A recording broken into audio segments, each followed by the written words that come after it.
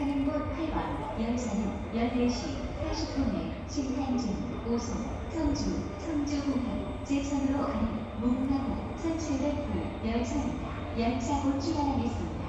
The train in platform 8 is the New Mumbai train number 1709 departing for 신탄진, 오송, 청주, Jeonju International Airport 제천 at 1440